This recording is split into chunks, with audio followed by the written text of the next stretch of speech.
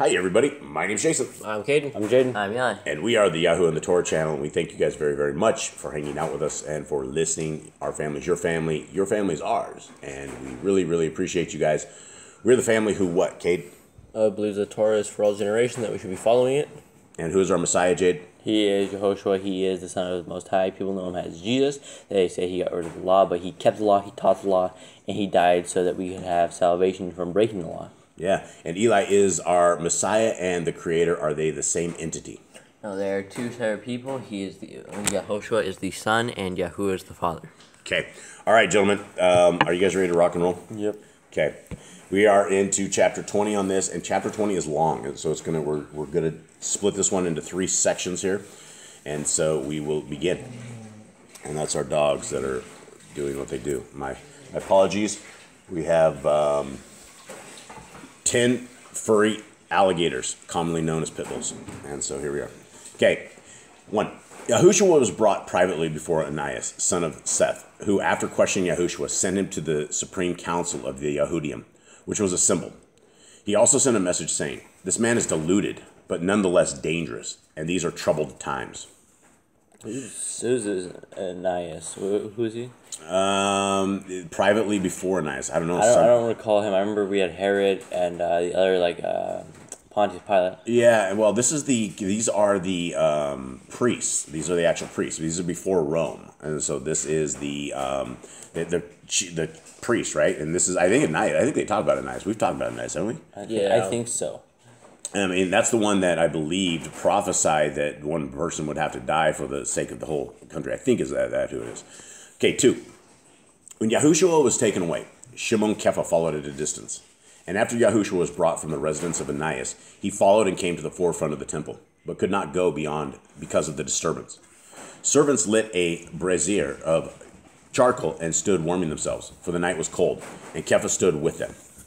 While he stood there, a relative of the high priest named Yosef, but called Yochanan, a follower of Yahushua in secret, came and spoke to the woman at the door and went into the chamber hall. He also spoke to Kepha.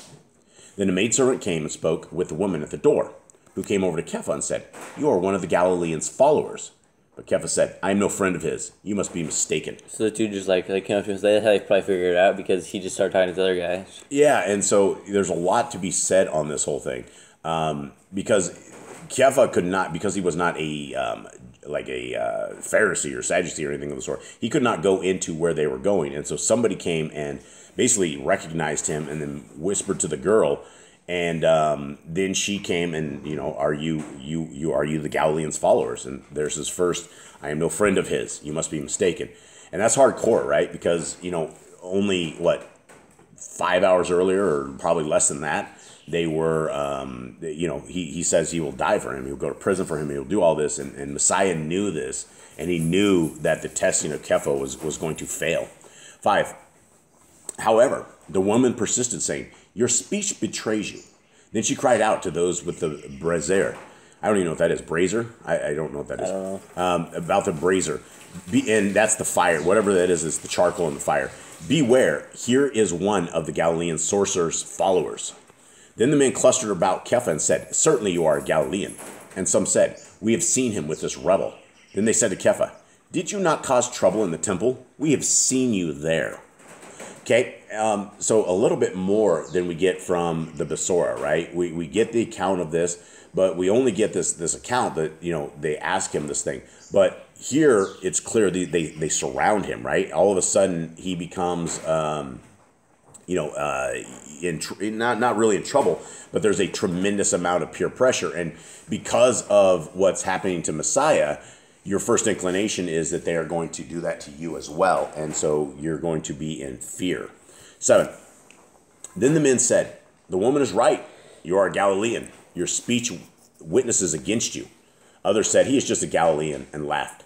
Kepha then became angry and shouted, Why do you pester me? I do not know the man. I have heard about him, but I have not seen him. Then the other disciple came out and told the men to leave Kepha alone. He took him by the arm and went out through the gateway. As they went, a cock crew, for the fowls were in the city. And Kepha wept bitterly, for he had failed the test. The other had compassion on Kepha because of the weakness of the flesh. And Kepha said, I will make amends. Then the disciple took Kepha to a place, a safe place nearby. So again, we get a lot more details out of this than we get with um, just the regular uh, Besora and the regular stories that we have. Um, you know, we did not know that there was another person, another disciple who, you know, Was there. yeah, was there.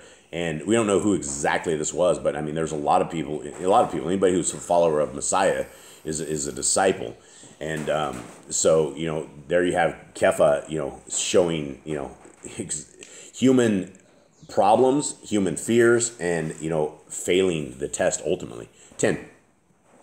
The Supreme Council had assembled that night in the chamber of hewn stone within the great temple.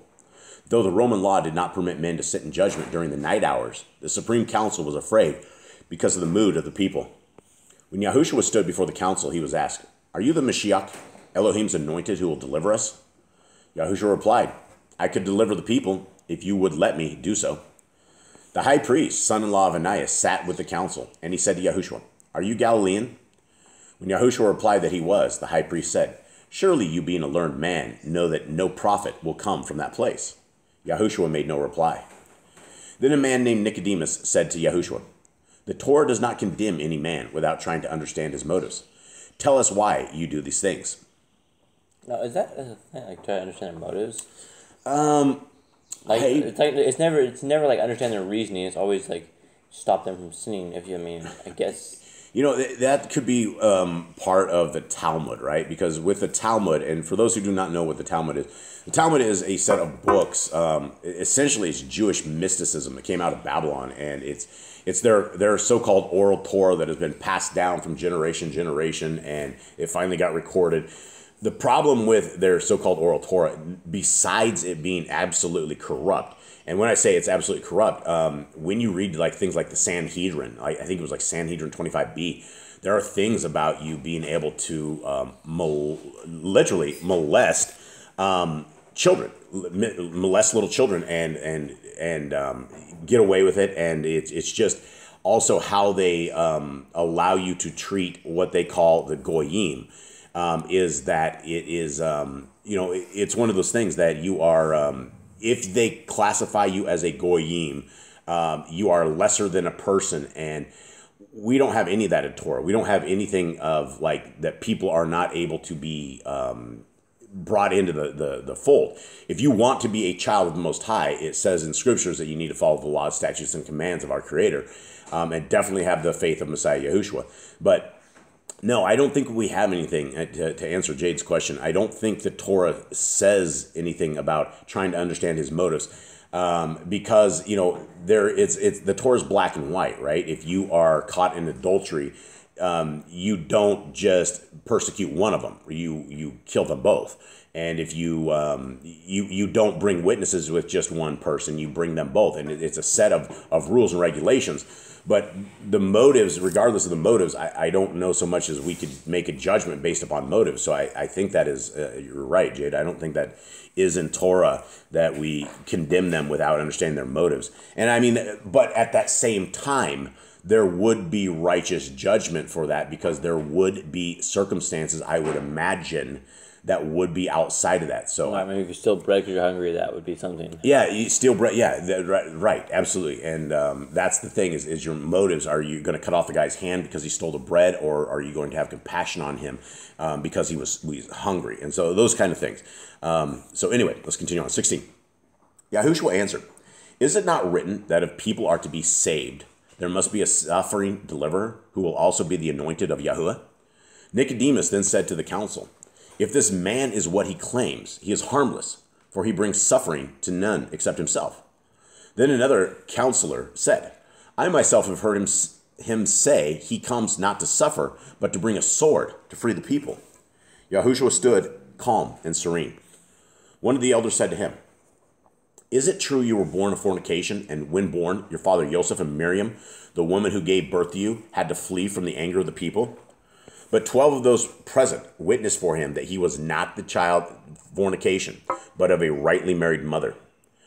Though many of the elders tried to make out a case against Yahushua, they failed.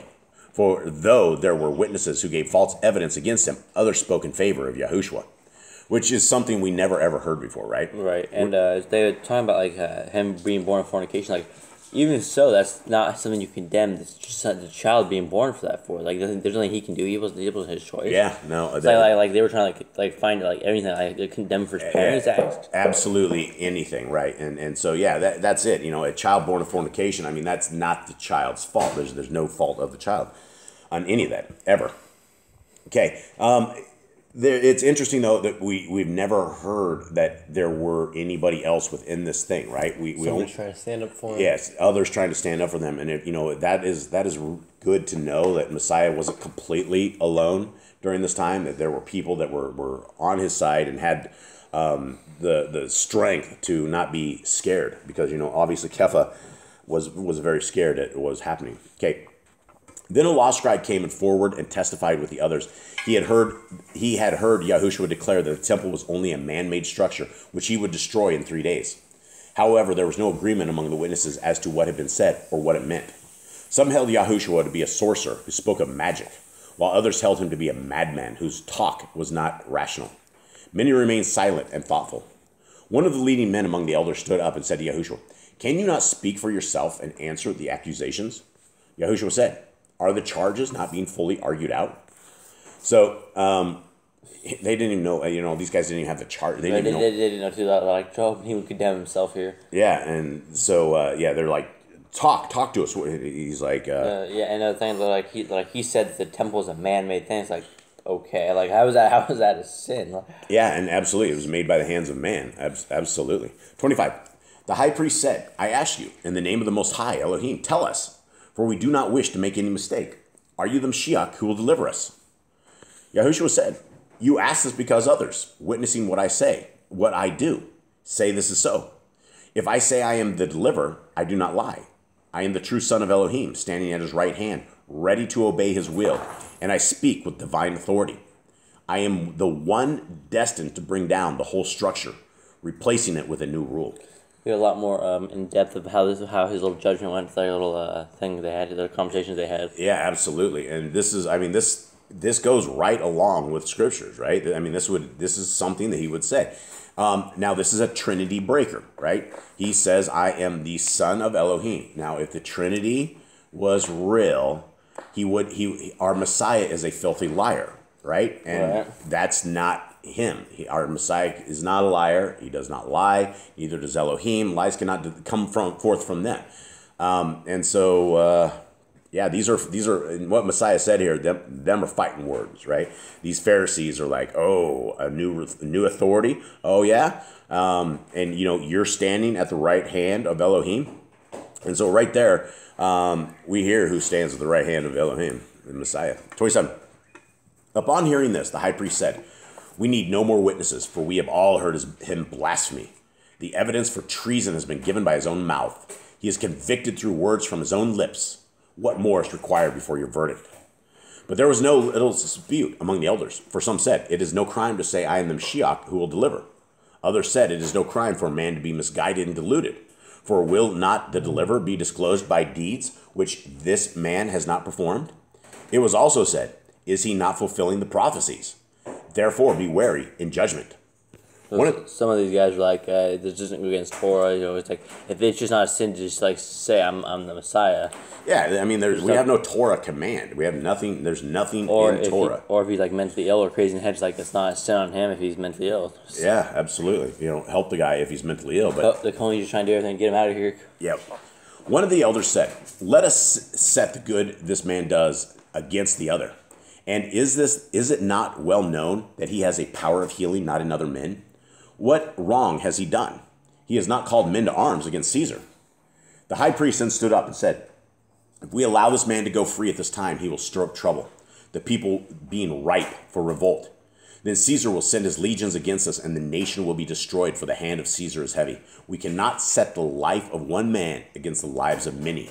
And those who would set him free are no friends of Rome, neither can they be made friends of our people. Then some said, His crime is against Rome, and not against us. But others said, What? Shall we deliver him into Roman cruelty? So they already they already knew how cruel the Romans were, right? And the, the Romans have always been notorious for their tortures, for their ways. I mean, these people were advanced beyond their years as far as this goes. 32. The high priest said, This can be no concern of ours. We are shepherds of the people. Let those who speak against Caesar stand before Caesar's judgment seat. Let our judgment be that we found him guilty against Caesar and then leave him in Roman mercy. We gave no power, we have no power to condemn him. Okay, and this will be the last verse that we're going to do on this one. 33. Therefore, it being daylight, they bound Yahushua and delivered him to Pilate with the verdict he is guilty against Rome. Okay, so there you see all of this, and you see exactly why they handed him over and how. They couldn't find nothing. They couldn't do. There's nothing they had. Yeah, and the only thing they had is um, what would be against Rome, right? And He still had nothing. He never did anything against Rome. He always said pay Caesar. So yep, pay to Caesar what is Caesar's. Um, I mean, even Pilate when he got out there, he's like, I there's nothing. I just you know fault in this guy. I wash my hands and leave this into your hands. Yeah, He, like he pretty much gave him back to him. Messiah left even- him into the Jewish cruelty. Yeah, and then Messiah even paid his taxes, right? So he wouldn't have the uh, RIRS after him or something, the Internal Roman Service after him. uh, you know, with all their spears and everything going in to, to extort cash from the uh, Roman people. Um, yeah, so that is it. And so we have uh, you know stuff that we've never ever heard before. Um, what do you guys What do you guys make of this? I mean, other than you know, you've you've never heard this, and that's the thing is, uh, guys, when we read this, I've never read this book before. I read this the section we read about two hours before we actually read it, just so I don't sound like a uh, you know a clown trying to read this. And the boys here have never heard this before because they haven't read this, so this is all new. So it's it's new for a lot of us. What do you guys make of this, gentlemen, as new hearers of this? I think it's really good. It gives a lot of information that not all the Pharisees were bad. Not all of them were breaking Torah. There's only a few people in there that wanted to get rid of Yehoshua. Yeah. Uh, and not everyone condemned him. Some people actually like cared for him. Like, hey, he had done, done wrong. He might be mentally ill. You can't punish the mentally ill. They seem to like, hey, this guy is a uh, good man. He heals people. Like, are these not the signs of Messiah? Kate, anything? Um, the, they couldn't like they couldn't find anything because there was nothing against the Torah he had done right because he walked the perfect life he did. They were just pulling at straws that they couldn't even find. They were just trying to grab things out of thin air that there was nothing to do, and they they all the people that were actually somewhat righteous in in that group actually were like, well, "There's nothing you can. That's not a sin. There's nothing he's doing here is a sin." Saying that he is the son of Elohim is not a sin. Saying he's the Messiah is not a sin. None of that is a sin. Yeah. Eli, do you have anything from over there? no. No. All right. Thanks, Eli.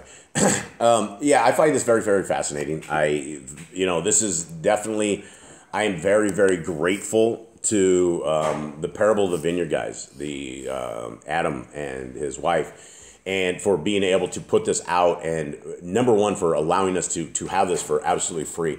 When I went to the parable of the vineyard and asked them, you know, can I can I take this book? Can we include it in the scriptures we're going to be putting into it?